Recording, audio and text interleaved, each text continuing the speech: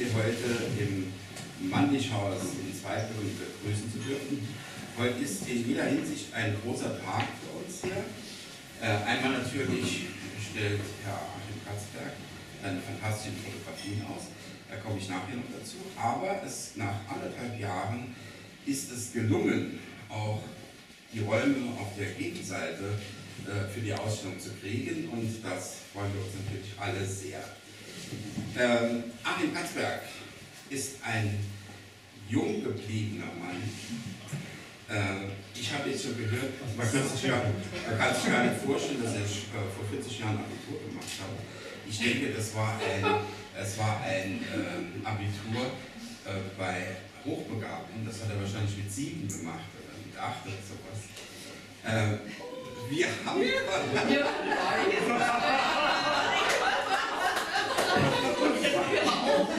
Wir haben heute jetzt ähm, eine private Retrospektive von ihm.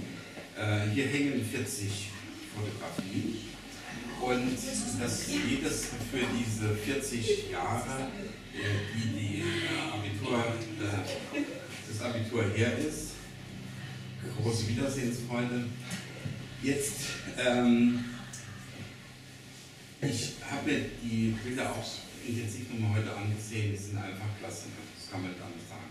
Was erwartet uns hier? Uns erwartet urbane Architektur und kleine Männchen, ganz kleine Männchen. Die Natur kommt bestenfalls als solitäres Zitat vor, zum Beispiel auf diesem Bild hier sieht man so einen kleinen Baum, der von einer gigantischen Fassade aufgebaut ist ähm, der, äh, der Titel der Ausstellung heißt Big City Life, die große Stadt. Und das ist natürlich äh, die Frage, was ist groß? Die größten Städte liegen heute wohl in China. Das alte Kanton ist wohl eine der größten Städte der nördlichen Hemisphäre geworden mit äh, 18 Millionen Einwohnern, 12 bis 18 Millionen, je nachdem, wie man das rechnet. Da können wir natürlich hier in Germanien und im Südwesten nicht mithalten. Äh, Zweibrücken hat 27.000 Einwohner. Ja, ja, ja, ja.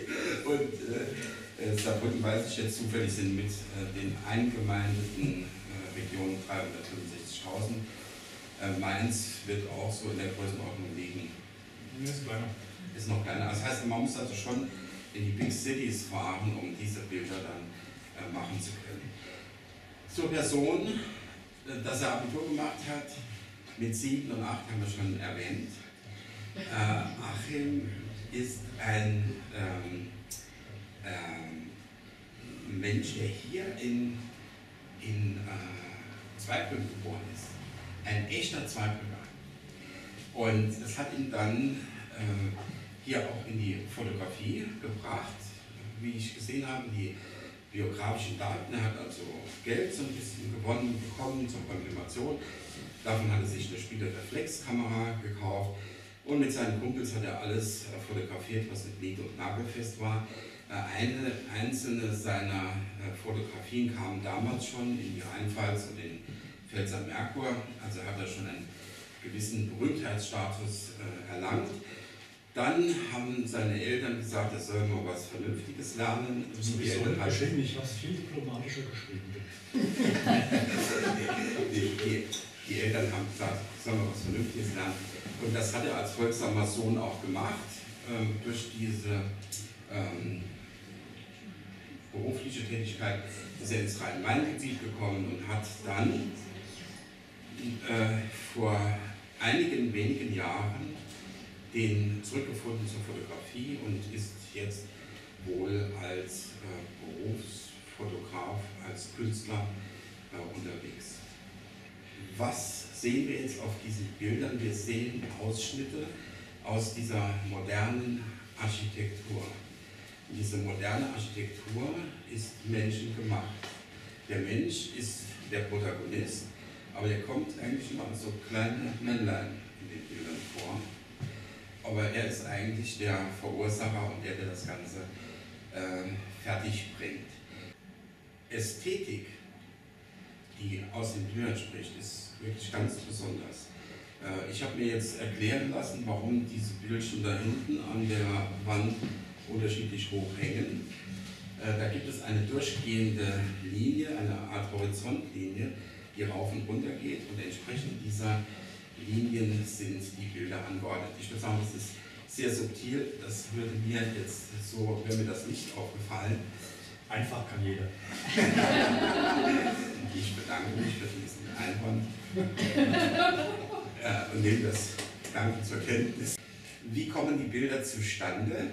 Die Bilder, äh, es, man, man sieht etwas, der Künstler sieht etwas und hat dann eine Idee und wie eine, auch eine Berufsfotografin jetzt schon gesagt hat, die Männer laufen dann natürlich wieder weg und dann muss man sich hinstellen und warten, bis wieder einer vorbeikommt, damit der Gesamteindruck stimmt. Also äh, diese Bilder wirken natürlich, also auch das Vorbeilaufen, vorbeilaufende Menschen und so weiter, wirken sehr spontan und äh, dem Augenblick geschuldet, aber das ist natürlich eine kompositorische Leistung, die mit dieser ästhetischen, mit diesem ästhetischen Auswahlprinzip äh, zusammenhängt. Dann gibt es ähm, Kunstzitate. Sie werden dieses Bild da, wo der Mensch aus dem äh, äh schaut, das wird jeden, der so ein bisschen auskennt, wird das an berühmte englische und amerikanische Maler erinnern. Hopper. Hopper. Schon verraten. das, ne, klar. Und ähm, ich kann Sie nur auffordern, sich diese Bilder in Ruhe anzu, äh, anzusehen, sich das auf sich wirken zu lassen. Es hat sehr viel mit Geometrie zu tun, grafisch aufgelöst, Wiederholungen von und alle diese Dinge, die ästhetisch Reize äh, bilden.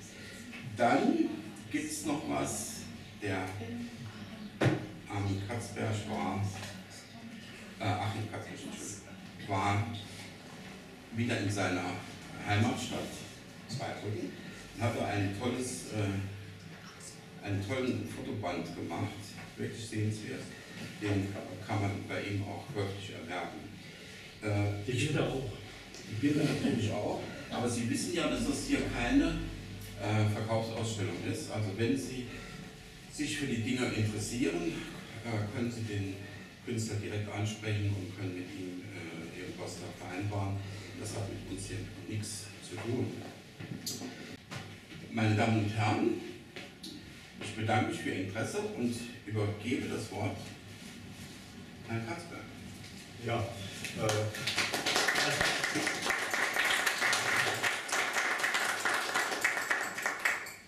erstmal vielen Dank an dich für deine tollen Worte zur Ausstellung, zu meiner Person. Äh, da äh, habe ich mich drin wiedergefunden, auch was die Bilder anbelangt, auch was meine Person anbelangt.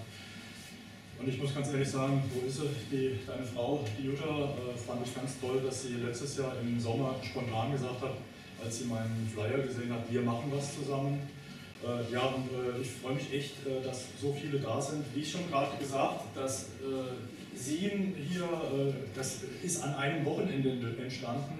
Ich saß nämlich mit meinem Jugendfreund und Kumpel und immer noch Freund, erstaunlicherweise, äh, bei einem Bierchen zusammen und sagt, oh Mensch, äh, also nach dem Tod meiner Mutter war das im Frühsommer 22. Äh, ich habe Bilder aus Kopenhagen, New York, Madeira, Amsterdam, was auch immer, aber ich war seit unserer Jugend nicht mehr in Zweibrücken fotografieren.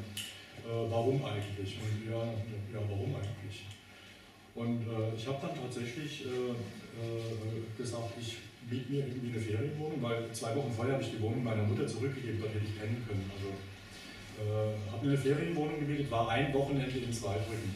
Und was hier drin ist, ist wirklich nur an einem Wochenende entstanden. Also es ist jetzt kein breites Bild von Zweibrücken, sondern das ist mein Zweibrücken-Wochenende nach dem Abschied von meiner Mutter.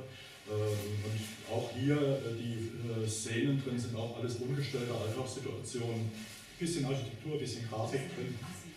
Kostet 10 Euro, ist hier, wie gesagt, erhältlich, habe ich einige davon dabei. Und ansonsten schauen Sie sich die Bilder an. Ich bin äh, da äh, für Fragen, wie es der Franz Walter gerade schon gesagt hat. sind die Bilder alle nicht inszeniert. Es geht so weit, dass ich die Personen auf den Bildern nicht kenne, mit einer einzigen Ausnahme, aber auch das Bild ist nicht inszeniert. Tatsächlich, das Titelbild von der Ausstellung ist meine Frau. Wir standen auf Madeira, also wir waren auf Madeira. Madeira ist grün, grün, grün. Für urban, grafisch minimal ist da eigentlich nichts. Auf der Rückfahrt zum Flughafen habe ich gesagt, ich muss in dieses Museum äh, für moderne Kunst, Mudas, deswegen heißt das Bild auch Mudas, äh, ich muss da einfach nochmal hin. Und dann hat meine Frau sich getummelt, ich habe mich getummelt und auf einmal sehe ich sie da stehen und mit der Spiegelung. Und schon äh, war meine Frau abgelichtet und gehört äh, heute zu meinen Topsellern. Also meine Frau ist einer meiner Topseller. Äh, aber äh, nicht die Topsellerin, also da hängt. Und das top. Nee, stimmt nicht. hinter, hinter dem Kameramann Baker Street ist der Topseller im Moment. Also das ist das meistverkaufteste Bild. Und meine Bilder sind alle als Motivlimitierung aufgelegt, also in Großformaten, egal in welchem Format. Alles, was größer ist als 30 cm, wird es das nur 25 Mal geben. Das ist äh, ein, ein Ehrenwort, was Fotografen abgeben. Also ich führe da Buch drüber. Das nur auch schon mal als Hinweis, weil die Frage auch immer gerne kommt. Ansonsten keine Fragen. Ich bin auf jeden Fall da, heute und auch die nächsten Wochenenden, immer von 15 bis 18 Uhr ungefähr. Viel Spaß. Viel Spaß.